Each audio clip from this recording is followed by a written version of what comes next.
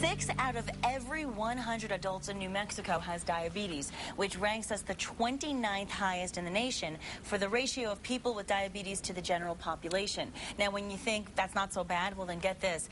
New Mexico ranks fourth highest in the nation for diabetes deaths. Dr. Emil Faithe is here with us this morning to tell us how to manage diabetes. Well, Welcome. Thank you so much. This is a big issue, and it's not Yes. just a big issue in this state. It's a big issue everywhere. Sure. In fact, over 30 million adult Americans Yes. have uh, blood sugar problems or diabetes. Over 300 million worldwide, and the problem is it's climbing. We've got a serious problem, and I'm going to tell you how to really take a look at this issue. It comes down to two major things, Nikki. Okay. And that is two things.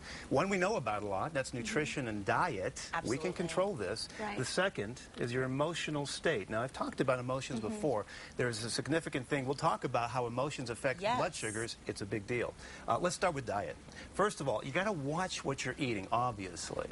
Easy on the fruits, easy on the fruit juices. They're healthy, but don't overdo them, okay? Why is it such a killer in New Mexico? Yeah. Well, it's because more people, I guess, are get going for the fast food, the comfort food. There's people who don't have enough money, so they're reaching for the fast stuff and the processed stuff. No it's the processed packaged foods Mm. that are really a problem here. Mm-hmm. Omitting fruits, fruit juices, sodas. So many people are drinking sodas. That's the number one problem. I know, and I'm Drink- guilty. Watch the sodas. Stay away from the sodas. Fatty foods and fast foods, all of these have ingredients that can raise blood sugar. So easy on the fatty foods because fat turns into sugar. What about those fast foods that claim to be good for you? You know what I mean? When you go to those drive-thrus and they say, this is the healthy menu?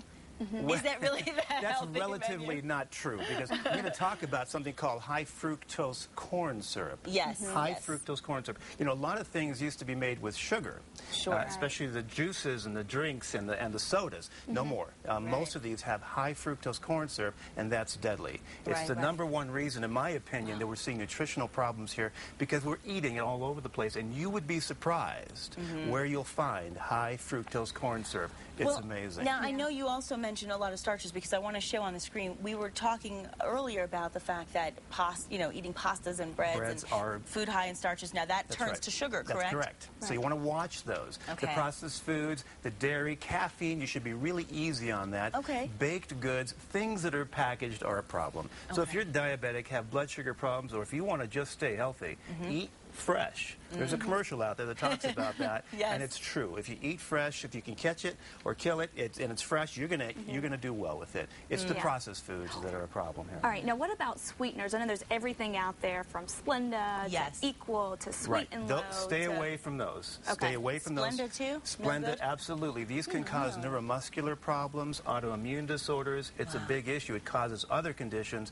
It may not raise your blood sugar, but it causes other health problems. I recommend Really? to stay away from it. If you're going to pick a natural sweetener, Yes. Start with stevia. It's Okay. an herb called stevia, grown in the Brazilian, the South America region, and Yeah. probably other parts of the world as And well. And they package that now in the little packets You can get as it well, now, right? and actually, My there's mom a tried that. I That's right. There's a movement now to actually put that in some of these soft drinks and replace some of the unhealthy net, uh, uh, artificial or non-sugar ingredients. We know Good to being from the South, we drink a lot of sweet tea. So you know, my Right. parents well, I love it. I mean, it tastes great. It is. It's so good. It tastes great. But they planted a stevia plant. My dad planted a that stevia right? plant in this in the backyard. Oh, my and used that to gosh. sweeten Yep. the tea instead. And he said it was great. Yeah, it, That's it does really taste. cool. It tastes different. Tastes great. The stevia. The good thing about stevia, it Yeah. not only does it not raise blood sugars, Uh-huh. it actually helps lower them.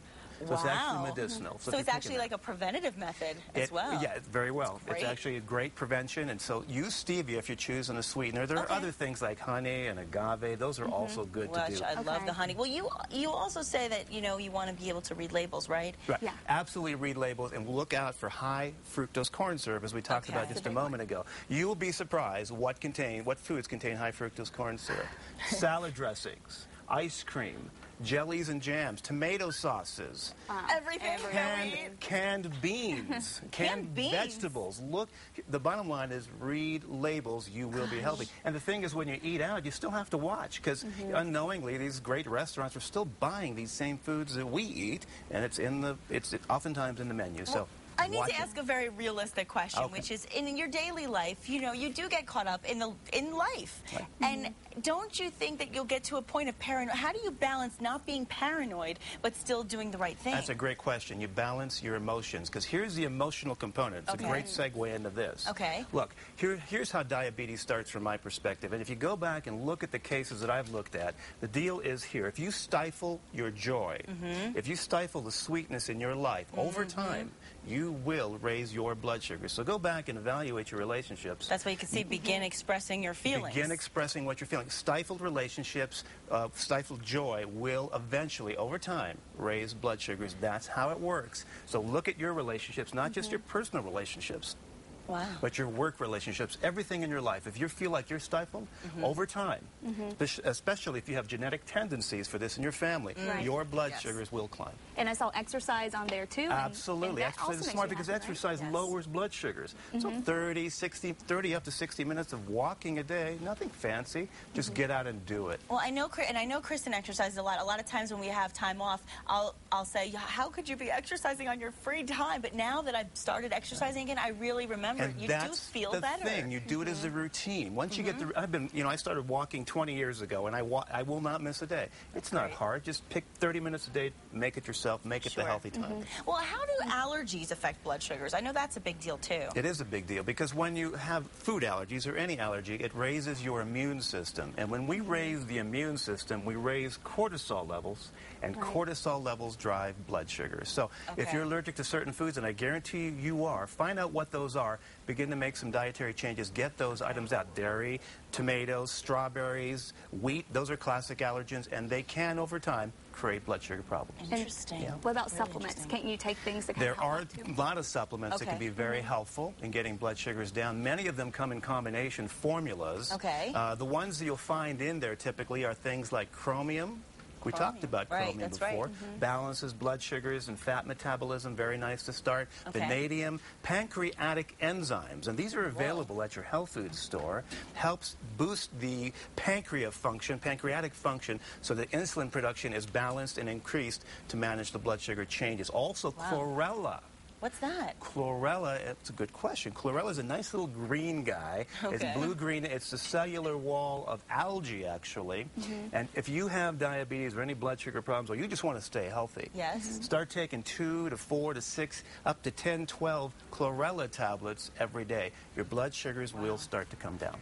Now, I know a lot of people will want to know how to contact you because I'm sure they'll want some personal advice. And of course, we have all of that for you right now on the screen. And I know a lot of people talk about diabetes being genetic, and I think by taking a lot of this advice, you can work on the prevention. Not just that, mm-hmm. you can overcome genetics. You oh. can. You can. You don't have to get what your parents or grandparents got. You can overcome it. Need help? That Call me. is really That's good good to know, news. and I'm sure they will. Thank you so much for being here. We both It is my appreciate pleasure. that so much. Yeah, thanks for coming. So helpful as always. And coming up next, some fun. We're cooking in our New Mexico style kitchen. I think Dr. Faithe will approve. And even though the Super Bowl is still almost a month away, Mike from Calico Cantina is fast at work making some delectable treats that'll have your man howling.